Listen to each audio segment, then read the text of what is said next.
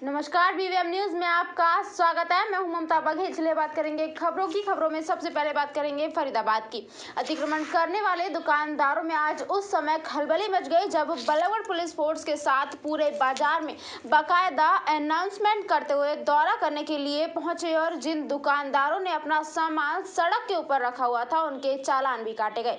बाज़ार में police force के साथ और बाकायदा कमेंट करते हुए दिखाई दे रही टीम एसडीएम के नेतृत्व में पूरे बाज़ार के दुकानदारों के पास पहुँची है और साथ ही उनको हिदायतें भी दी गई हैं कि यदि कोई भी दुकानदार बिना मास्क के पाया गया तो उसके खिलाफ कार्यवाही की जाएगी। इतना ही नहीं, जो ग्राहक बिना मास्क के सामान लेने आते हैं, उनको सामान भी दुकानदार की तरफ़ से नहीं दिया जाएगा। इसको, इसके अलावा बाज़ार में दुकानदारों द्वारा सड़क पर अतिक्रमण करने से यहाँ पर खरीदारी करने के लिए आने वाले लोगों को भी घंटों जाम में फंसना पड़ता है, जिसके कारण भारी परेशानी होती है। और देखने वाली बात ये रही कि अतिक्रमण करने वाले दुकानदारों में खलबली मच गई और बताया कि लोगों को कई परेशानियाँ ना हो और कोरोना वायरस का संक्रमण फैलने से रोका जा सके। इसको लेकर एहतियात बढ़ते जा रहे हैं। बाज़ार में लगने वाले जाम से भी लोगों को राहत मिलेगी।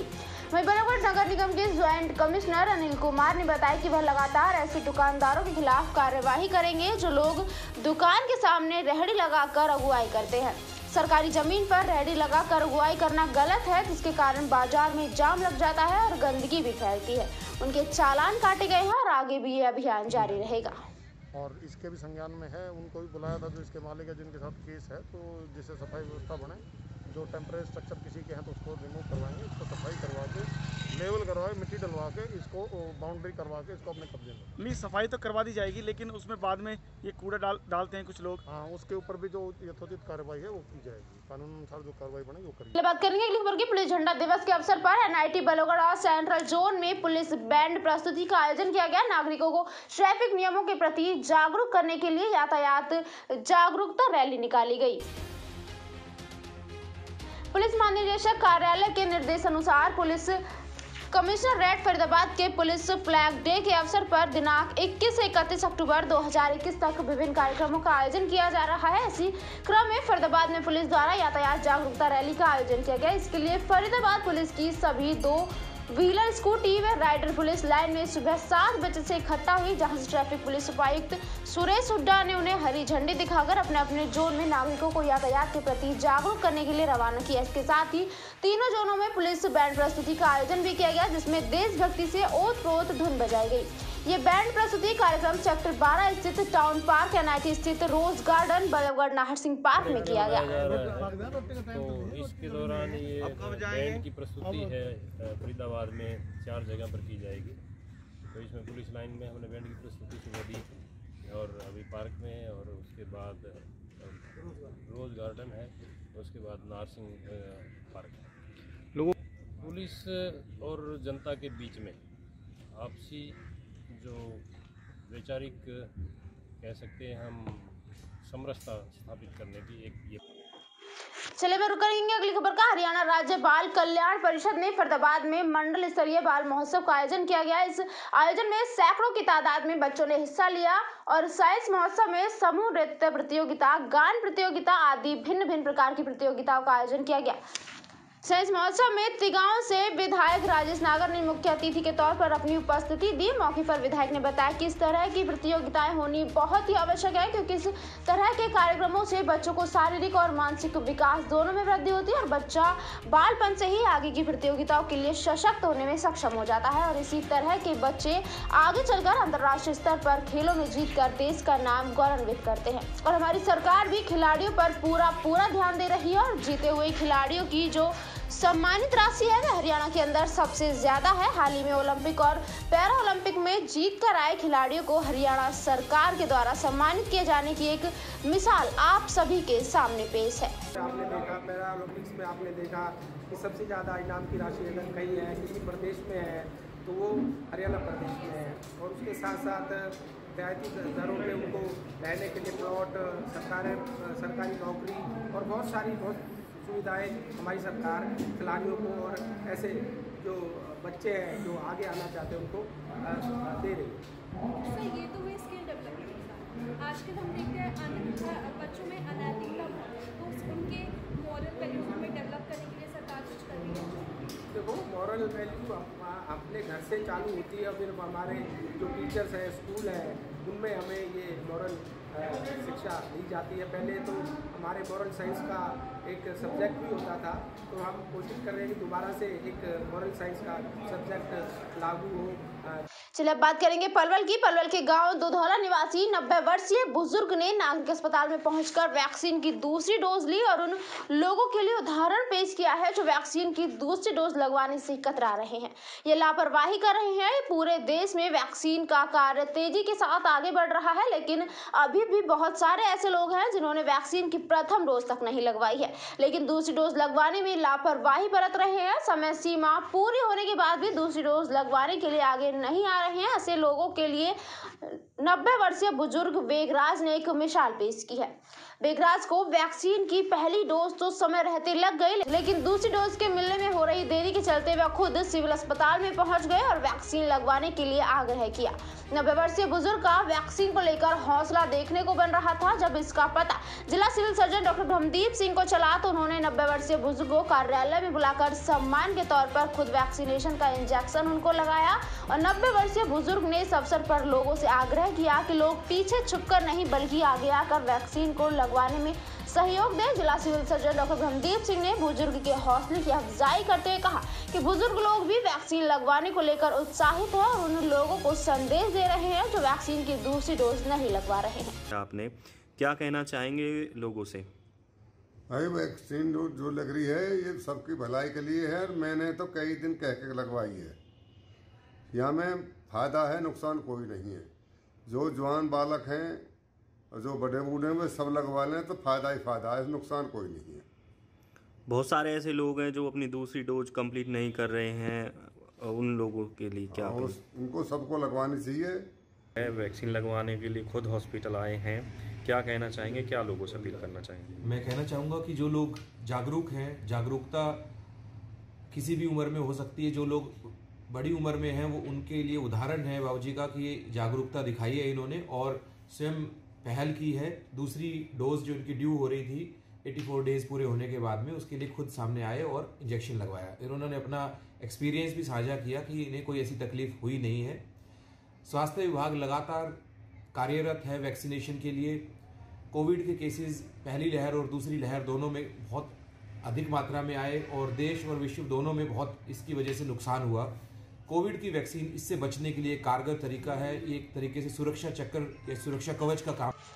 चलिए मैं रुक करेंगे अगली खबर का स्वच्छता सर्वेक्षण ग्रामीण 2021 को लेकर विभाग ने पूरी तरह से कमर कस लिया सर्वेक्षण 25 अक्टूबर से लेकर दिसंबर 2021 तक चलाया जाएगा। जिसको लेकर हर गाँव का मंत्रालय की टीम गुप्त रूप से दौरा करेगी। इस दौरे में टीम गाँव में हो रही स्वच्छता मिशन को लेकर निरीक्षण करेगी। जिन गाँव की शिकायत मिलेगी, उन गाँव में सफ़ाई कर्मचारी व चौकीदार व इससे जुड़े लोगों पर भी गाज विभाग डाल सकता है। इसी को लेकर आज सोहना के खंड विकास कार्यालय में स्वच्छता मिशन के तत्वाधान में एक मीटिंग का आयोजन किया गया। इस मीटिंग में ब्लॉक के सफ़ाई कर्मचारी, चौकीदार, सक्षम युवा, आंगनवाड़ी वर्कर ने भाग लिया। बैठक में सभी को संबोधित करते हुए कोऑर्डिनेटर ने बताया कि गाँव की सफ़ाई का प्रतिदिन का एक फीडबैक एक ऐप के माध्यम से सफ़ाई कर्मचारी एवं चौकीदार व ग्रामीण देंगे। उसी के आधार पर गाँव को स्वच्छता को लेकर अंक दिए जाएँगे। ब्लॉक कोऑर्डिनेटर ने बताया कि स्वच्छता सर्वेक्षण 2021 को लेकर विभाग पूरी तरह से प्रयासरत है ताकि इस बार भी गुड़गांव को पूरे देश में अव्वल नंबर पर लाया जा सके, जिसको लेकर सभी सफ़ाई कर्मचारी, चौकीदार, सक्षम युवाओं को निर्देश दिए गए हैं कि वे सभी को एंड्रॉइड फ़ोन में एस एस जी दो हज़ार इक्कीस ऐप डाउनलोड के आदेश दिए हैं, जिसमें हर सप्ताह गाँव की फीडबैक देना अनिवार्य होगा। इस मौके पर उन्होंने बताया कि इस दौरान पेयजल स्वच्छता मंत्रालय की टीम किसी भी गाँव जाकर गुप्त रूप से भौतिक निरीक्षण करेगी। इस निरीक्षण के बाद अपना फीडबैक के आधार पर उन्हें अंक दिया जाएगा। वहीं उन्होंने बताया कि टीम की शिकायत पर इससे जुड़े लोगों पर विभागीय कार्यवाही भी की जा सकेगी। टीम गाँव के इस बात का निरीक्षण करेगी कि क्या समय पर कूड़ा करकट गाँव से उठाया जा रहा है। कहीं गंदगी या पानी तो नहीं भरा हुआ अन्य बातों पर भी टीम इसका निरीक्षण करेगी। इसके लिए गाँव के लोग भी ऐप के ज़रिए अपनी शिकायत डाल सकते हैं। विभाग हर सप्ताह गाँव में इसको लेकर मुनादी करवाएगा ताकि लोगों को स्वच्छता सर्वेक्षण के बारे में पता चलता रहे। आज की जो मीटिंग बुलाई है जिसमें सफ़ाई कर्मचारी हैं चौकीदार हैं और कुछ हमारे सक्षम युवा हैं और इसमें हमारे जो आंगनवाड़ी वर्कर हैं, आशा वर्कर हैं, या फिर ग्राम पंचायत में जो पीएससी हैं सीएससी हैं, या फिर ब्लॉक एजुकेशन लेवल पे जो हमारे खंड शिक्षा अधिकारी हैं, उनकी सभी की मीटिंग पहले ली जा चुकी है। और इस मीटिंग का मुख्य उद्देश्य है कि पूरे भारतवर्ष के अंदर स्वच्छ सर्वेक्षण ग्रामीण 2021 की शुरुआत हो चुकी है, जिसमें 25 अक्टूबर 2021 से लेकर दिसंबर 2021 तक इसका सर्वेक्षण किया जाना है। जिसमें पेयजल स्वच्छता मंत्रालय ministry of drinking water sanitation पेयजल स्वच्छता मंत्रालय, भारत सरकार द्वारा ग्राम, सभी ग्राम पंचायत में टीम विज़िट करेगी जिसमें विज़िट करने उपरांत उसका फीडबैक उस टीम के माध्यम से किया जाएगा, जिसका भौतिक निरीक्षण के उपरांत उसकी रिपोर्ट एक पेयजल स्वच्छता मंत्रालय ministry of drinking water sanitation को भेजी जाएगी। इसका मुख्य उद्देश्य है कि 2018 में हमारे जो गुड़गांव ज़िले का सर्वेक्षण हुआ था, उस सर्वेक्षण में हमारा गुड़गांव जिला पूरे भारतवर्ष के अंदर सेकंड स्थान पर रहा था।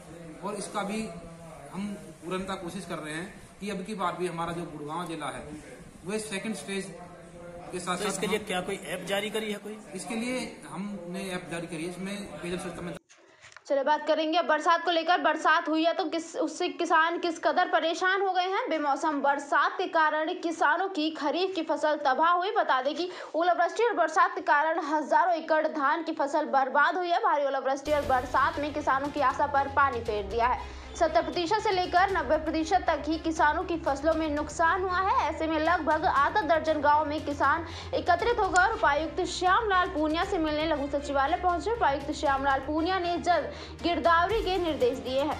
भारी बारिश के कारण खेतों में पानी भर गया है, जिसके कारण किसानों को गेहूँ की फ़सल की बिजाई करने के लिए दिक्कतों का सामना करना पड़ रहा है। प्रशासन से किसानों ने जल्द पानी निकलवाने की गुहार लगाई ताकि अगली फ़सल की तैयारियाँ समय पर कर सके। अगर प्रशासन के द्वारा कोई संतोषजनक सहायता नहीं की गई तो मुख्यमंत्री तक लेकर जाएँगे अपनी समस्याओं को। रुक करेंगे पलवल का। पलवल में पूर्व मंत्री करण सिंह दलाल ने हरियाणा के कृषि मंत्री जेपी दलाल, डीएपी खाद की कालाबाजारी करने व दूसरे किसानों की ज़मीन हड़पने का आरोप लगाया है और गृह मंत्री अनिल विज को अस्पताल में भर्ती होने की सलाह दी है। पूर्व मंत्री एक प्रेस वार्ता को संबोधित कर रहे थे। हरियाणा के कृषि मंत्री जेपी दलाल पर कटाक्ष करते हुए उन्होंने आरोप लगाया की प्रदेश में आज डीएपी खाद की कालाबाजारी करने वालों का काम कृषि मंत्री जेपी दलाल कर रहे हैं। उन्होंने ये भी आरोप लगाया की जेपी दलाल एक मामूली से जेई थे। उनके पास 300 एकड़ भूमि कहाँ से आ गई? उन्होंने कहा कि जेपी दलाल दूसरों की ज़मीन को हड़पने का काम कर रहे हैं। आखिर एक मामूली से जेई के पास इतनी ज़मीन कैसे हो सकती है? इसकी जाँच होनी चाहिए। हरियाणा में डीएपी खाद की किल्लत का जिम्मेदार उन्होंने कृषि मंत्री जेपी दलाल और हरियाणा के मुख्यमंत्री मनोहर लाल खट्टर को ठहराया है और अनिल विज पर हमला बोलते उन्होंने कहा कि प्रदेश के गृह मंत्री अनिल विज को अस्पताल में भर्ती होने की आवश्यकता है। उन्होंने कृषि मंत्री से इस्तीफा देने की मांग की है। ये जो कृषि मंत्री जेपी दलाल हैं, ये किसान नहीं हैं, ये भी खुद भाजपा के नेताओं की तरह व्यापारी है और झूठे बयान दे करके लोगों को गुमराह करने का काम कर रहे हैं। जेपी दलाल जी एक किसी सरकारी महकमे में मामूली से जेई थे, वो किसान तो कभी नहीं रहे। वो एक जेई थे और जेई के पद से इस्तीफा दे करके तीन सौ एकड़ ज़मीन एकदम इनके पास कहाँ से आ गई? वो बताएँ। तो इसलिए वो किसी और की ज़मीन को हड़पने की कोशिश करने कर रहे हो तो मुझे पता नहीं। लेकिन जेपी दलाल एक मामूली सा जेई था। उनका किसान और किसान की किसानी से कोई लेना देना नहीं है। और यही वजह है कि आज कृषि विभाग में जो ये लूट मची हुई है, उसका सबसे बड़ा कारण यही है कि प्रदेश का मुख्यमंत्री और कृषि मंत्री, इनका किसानों से कोई लेना देना नहीं, कोई सरोकार नहीं। जेपी दलाल में अगर कोई लिहाज है तो अपने पद से इस्तीफा देना चाहिए। अनिल विज मेरे साथ ही विधायक रहे हैं तकरीबन।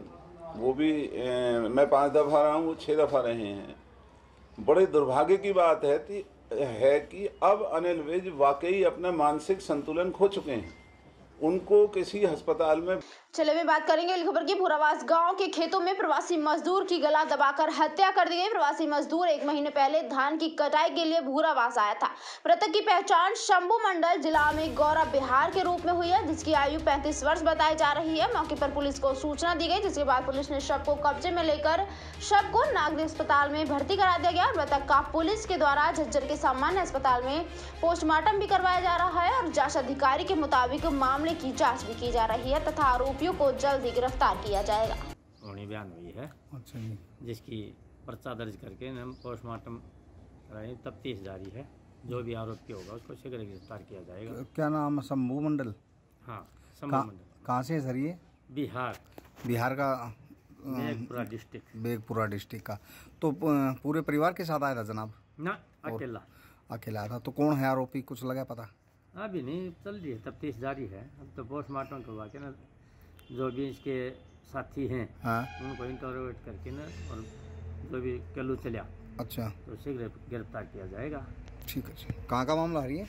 ये भूरावास खेतों में। बात करेंगे दहेज के लालचों की। दहेज के लालचों ने किस प्रकार एक विवाहिता की जान ले ली? पानीपत एक बार फिर विवाहिता दहेज की बलि चढ़ गई। मामला इस राना कस्बे के गाँव का मानना है कि जहाँ पर एक विवाहिता ने फांसी लगाकर अपनी जीवन लीला समाप्त कर लिया महिला के तीन बच्चे हैं और उसकी करीब सात साल पहले शादी हुई थी। परिजनों ने ससुराल पक्ष पर दहेज हत्या का आरोप लगाया है। फ़िलहाल पुलिस ने मामला दर्ज करके जाँच शुरू कर दी और सबको पोस्टमार्टम के लिए भी भेज दिया है। पानीपत के गाँव बिलासपुर की रहने वाली बत्तीस साल की पूनम की शादी गाँव मनाना में करीब सात साल पहले हुई थी। शादी के बाद से ही ससुराल पक्ष वाले पूनम के परिजनों से दहेज की मांग करने लगे। इसी को लेकर ससुराल में पूनम को तंग किया जाने लगा। इस बाबत कई बार पूनम के परिजनों ने उनकी ससुराल वालों को समझाया, लेकिन मामले का कोई हल नहीं निकला।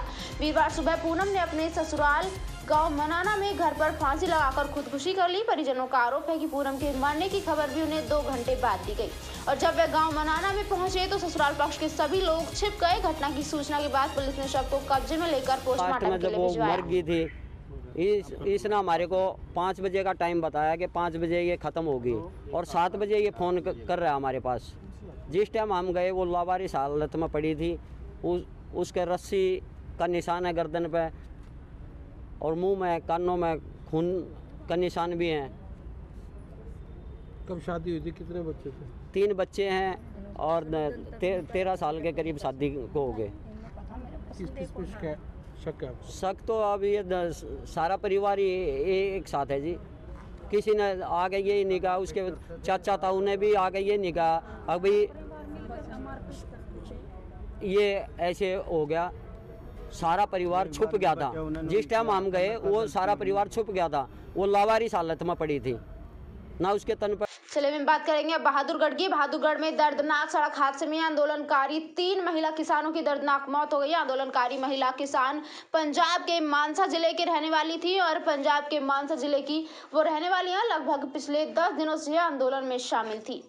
रोटेशन के आधार पर ही महिला किसान अपने घर को जा रही थी। महिला किसान डिवाइडर के ऊपर बैठकर ऑटो का इंतज़ार कर रही थी, तभी रेलवे स्टेशन पर पहुंचकर रेल पकड़ सके ताकि, रेल पकड़ सके और वो अपने घर जा सके। महिला किसानों की हादसे में हुई मौत के बाद आंदोलनकारी किसान बेहद गमगीन और गुस्से में है। मृतक महिलाओं के पोस्टमार्टम से भी किसानों ने मना कर दिया है कि महिलाओं का पोस्टमार्टम नहीं किया जाएगा। किसान नेताओं का कहना है कि इस हादसे के पीछे कोई बड़ी साजिश हो सकती है, इसलिए जब तक आरोपी ट्रक ड्राइवर गिरफ़्तार नहीं हो जाता, उसके बाद, उसके बैकग्राउंड का पता नहीं चल जाता, तब तक पोस्टमार्टम नहीं करवाया जाएगा। किसान नेताओं ने मृत महिला किसानों का कर्जा माफ़ करने दस लाख रुपए मुआवजा देने और परिवार से एक व्यक्ति को सरकारी नौकरी देने की भी मांग की है। वही हादसे के बाद पुलिस भी एक्टिव हो गई है। आरोपी ट्रक की सारी डिटेल खंगाल ली गई है और एसीपी वसीम अक्रम घटनास्थल का जायजा ले रहे हैं और आंदोलनकारी किसानों से बात भी की और आश्वासन दिलाया कि जल्द ही आरोपियों को आरोपी को गिरफ़्तार कर लिया जाएगा और हादसा करने वाले ट्रक की